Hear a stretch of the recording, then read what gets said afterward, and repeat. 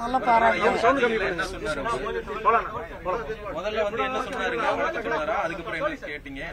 வந்தாங்க வந்துட்டு நேரம் யானைக்குட்டிக்கிட்ட வந்தாங்க. நாங்கள் யானைக்குட்டி பக்கத்தில் நின்று இருந்தோம் வந்து யானைக்குட்டி வளர்த்தவங்க யாருன்னு சொன்னாங்க. எங்கள்கிட்ட சொன்னாங்க. எங்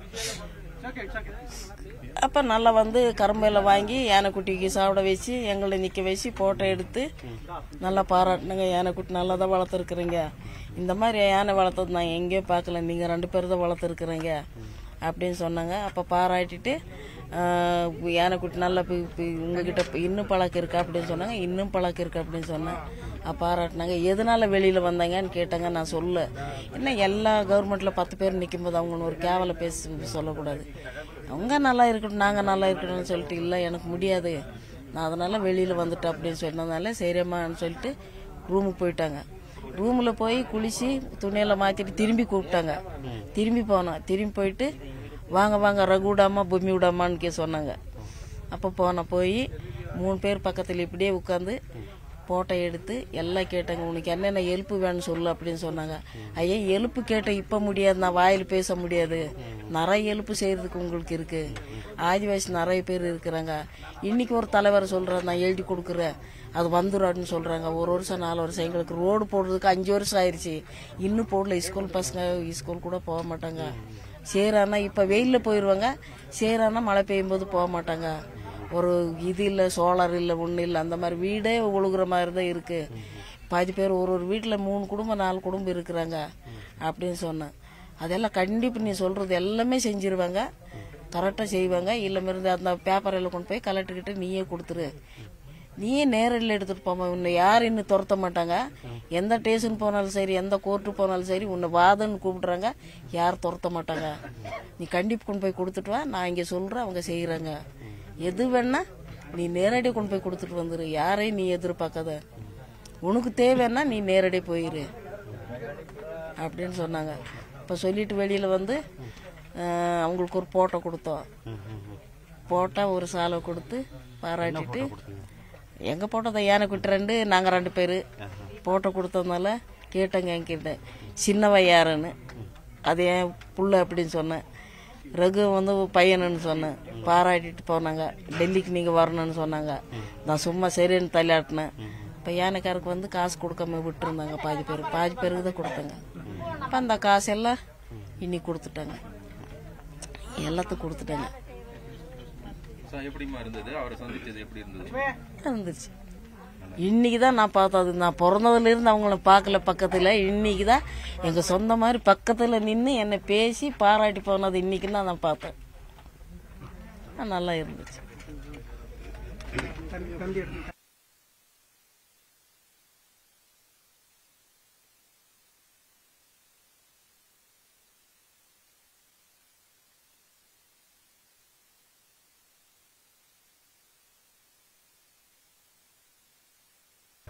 பேர் சொல்லணுங்களா பேர் சொல்லு உங்க பேர் சொல்லிட்டாரு நம்ம பேர் கிருமாறனுங்க. நம்ம ஊர்த்தியான மாவட்டங்க இவர் பிரதமர் வந்தாருங்க காலையில். வந்துட்டு நம்ம நேராக வண்டியில் இருந்து இறங்கி வந்து நம்ம யானை ஃபீடிங் சென்டர் பார்த்தாருங்க. பார்த்துட்டு அதில் எல்லாம் பார்த்துட்டு நேராக ஆப்போசிட்டில் நம்மக்கிட்ட வந்தாருங்க. நம்மக்கிட்ட வந்துட்டு வெரி குட் நீங்கள் மாவத்தனா காவடியான்னு கேட்டார் மாவத்தனங்கண்ணு நீங்கள் எத்தனை வருஷம் வேலை செய்கிறீங்கன்னு முப்பத்தொம்பது வருஷம் ஆச்சாங்க வெரி குட் அண்ணாரு. அப்புறம் பேசிட்டு நீங்கள் இந்த வேலை செய்கிறதுக்கு உங்களுக்கு என்ன விருப்பம்? அப்படின்னு அப்போ நாங்கள் எங்கள் தாத்தங்காலத்துலேருந்து இந்த வேலை செய்கிறோம் எங்கள் அப்பாவும் இந்த வேலையில் இருந்தார். இந்த வேலை தான் செய்கிறோம் அண்ணாரு. சரி ஓகே அண்ணன் உடம்புல தட்டி கொடுத்து அப்புறம் தேவராஜ் கிட்டே போனார். தேவராஜ் கிட்டே போகும்போது இதே வார்த்தை தான் சொன்னார். ஆ. அவ்வளோ நம்மளுக்கு நல்லது சந்தோஷங்க ஏன்பா அவர் நம்மளுக்கு அவர் வந்ததுல இருந்து நம்மளுக்கு சந்தோஷங்க ஏன்னா அவர் இத்தனை வருஷம் நம்ம இது வரைக்கும் இந்த மாதிரி பிரதமர் வந்து முதுமலைக்கு வந்தது நான் பார்க்கல. இவர் ஃபர்ஸ்ட் வந்திருக்கிறாங்க. வந்து ஆளுங்கிட்ட எல்லாம் நல்லா க்ளோஸாக பேசுகிறாருங்க அவ்வளோக்கு இது ஒன்றும் தெரியல. நல்லா க்ளோஸாக தான் பேசினாருங்க உள்ள வந்து வேற என்னென்ன பண்ணாருங்க? வேற வந்துட்டு நேராக நம்மக்கிட்ட பேசி முடிச்சுட்டு நேராக சந்தோஷ யானை போய் பார்த்தாருங்க. சந்தோஷ யானை பார்த்துட்டு அங்கேருந்து போயிட்டு பாம யானைக்கு கரும்பு கொடுத்தாருங்க. கரும்பு கொடுத்து நேராக அங்கேருந்து போய் பொம்மையை பார்த்தாங்க. பொம்மையை பார்த்து கரம்பெல்லாம் கொடுத்து அதுக்கிட்ட நின்று எல்லாம் போட்டோ எடுத்தாங்க. நீங்க ஏதாவது வேண்டுகோள் வச்சிருக்கீங்க இல்லைங்க. இல்லை நம்ம சொல்றதுக்கு இருந்தா ஒரு திடீர்னு கிளம் கிளம்பிட்டாருங்க. என்ன சொல்லணும்னு சொல்றதானா அது? நான் என்னன்னா ஒன்றும் சொல்றதுக்கு இல்லை. அவங்க சொன்னதை வந்துட்டு இந்த கேரளாக்கு அங்கிங்க யானைக்கு போ பிடிக்க போனது இதெல்லாம் சொல்லணும்னு பார்த்தோம். அதுக்குள்ள அவர் டைம் ஆயிடுச்சுன்ட்டார். வேற ஒன்று ஆ ஓகே சொல்லுங்க அதாவது வந்து நீங்க இப்போ வேலைக்கு எப்போ சேர்ந்தீங்க? எத்தனை வருஷமா ஃபாரஸ்ட்ல இருக்கீங்க? இன்னைக்கு பிரதமர் வந்திருக்காரு. இந்த இடத்துக்கு வந்து பிரதமர் வந்து வந்து நீங்க எப்படி பார்த்தீங்க? இப்படியெல்லாம் ஒரு மாற்றம் நடந்திருக்கு அப்படின்னு சொன்னா உங்களால் நம்ப முடியுதா? அதை பத்தி சொல்லுங்க. இன்னைக்கு அவர் என்ன பேசினார் உங்ககிட்ட? வணக்கம் வணக்கம். என் பேர் காலன்.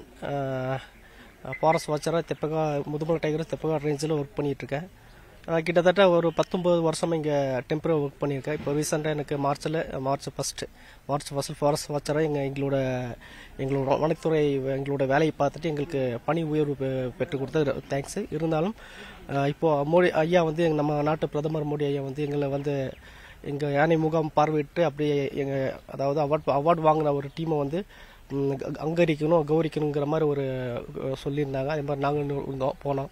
ஐயா வந்தார். ஐயா வந்து எங்கிட்ட பேசினார். பேசின பேசும்போது எனக்கு பேச ஒன்றும் வரல வாய் வரல. அந்த அளவுக்கு எங்கிட்ட அந்த இது நிஜமாக கனவுங்கிற மாதிரி போச்சு. இருந்தாலும் ஐயா கிட்ட எங்களுக்கு முடிஞ்ச வரைக்கும் நாங்கள் ஐயா கேட்டார் என்ன ஒர்க் பண்ணுறீங்க நீங்கள் அப்படின்ட்டு. நாங்கள் இந்த மாதிரி ஃபாரஸ்ட்டில் ஒர்க் பண்ணிகிட்ருக்கோம் இந்த மாதிரி புலி ட்ராக் பண்ணுவோம் யானை ட்ராக் பண்ணுவோம் அந்த மாதிரி நிறைய வேலை செய்யுங்க அப்படின்னு சரி ஓகே இப்போ மூணு பேர்த்த வச்சு கேட்டாங்க. மூணு பேர் இதே சேம் ஒர்க் தான் பண்ணிகிட்ருக்கோம் இது வந்து ஐயா வந்து மீட் பண்ணுறதுங்கிற போது இப்போ நிறைய பேர் துப்பாக்கி எல்லாம் பெருசு பெரிய பெரிய துப்பாக்கும் போது கடை கடன் கை ஆடி போச்சு எனக்கு. துப்பாக்கி பார்க்கும்போது பயம் வருது. இருந்தாலும் அதை மேனேஜ் பண்ணி ஐயா கிட்டே பேசணும். ஐயா வந்து நார்மலாக சாதாரணமாக நம்ம ஒரு ம- சாதாரண மனுஷன் மாதிரி ஐயா வந்து எங்கிட்ட நல்லா பேசுனாங்க. கை கொடுத்து நல்லா பேசுனாங்க. பேசல பேசல இது ரொம்ப சான்ஸ் இல்லை. இது கிடைக்காது. இந்த மாதிரி ஒரு வாய்ப்பு கிடைக்காது. இது நான் நெக்ஸ்ட் ஜென்மத்தில் தான் கிடைக்கும். இந்த ஜென்மத்தில் எனக்கு ஒரு நல்ல ஒரு வாய்ப்பு பண்ணி கொடுத்துருக்காங்க. இது இந்த வாய்ப்பு பண்ணி கொடுத்தது எங்களோட அதிகாரி பெரிய அதிகாரிங்க. எங்கள் டிபார்ட்மெண்ட் சேர்ந்த பெரிய எங்களோட உயர் அதிகாரிங்களுக்கு வந்து எங்களோட ட்ரைபல் சார்பாக டி டுவெண்ட்டி எங்கள் டீம் டீம் சார்பாக எல்லாத்தையும் சார்பாக எங்கள் நன்றி நன்றியை தெரிவிச்சுக்க எங்கள் உயர் அதிகாரிகள். டி டுவெண்ட்டி த்ரீ ஆபரேஷன் பத்தி கேட்டாரா உங்ககிட்ட? என்னென்ன பண்ணீங்க? எப்படியெல்லாம் இருந்துச்சு அது- அதை பற்றி கேட்கல மொத்தத்தில் நீங்கள் என்ன ஒர்க் பண்ணுறீங்க நாங்கள் ட்ரை ட்ரைக்கர் ட்ராக்கிங் எலிஃபென்ட் ட்ராக் பண்ணிட்டு இருக்கோம் அந்த மட்டும் நாங்கள் பேசுவோம் எங்களுக்கு வந்து பாஷை வந்து இப்போ நான் ஐயா வந்து ஹிந்தியில் கேட்டார். எங்களுக்கு எனக்கு ஹிந்தி வராது. இருந்தாலும் எங்களுக்கு டிரான்ஸ்லேஷன் பண்ணுறதுக்காக எங்களோட என்டிசல் மேடம் இருந்தாங்க.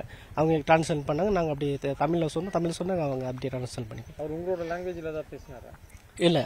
ஒரு நம்ம கோரிக்கை வச்சிருக்கீங்களா? இல்லை அந்த மாதிரி கோரி வைக்கல. நம்ம எங்கள் கோரி வைக்கிறக்க அந்த அளவுக்கு ஒன்றும் இல்லை. நாங்கள் நான் எங்கள் டிபார்ட்மெண்ட் நல்லா தான் பண்ணிட்டு இருக்காங்க பண்ணி கொடுத்துட்ருக்காங்க கோரிக்கை வைக்கிற அளவுக்கு எங்கள் டிபார்ட்மெண்ட் வைக்கல.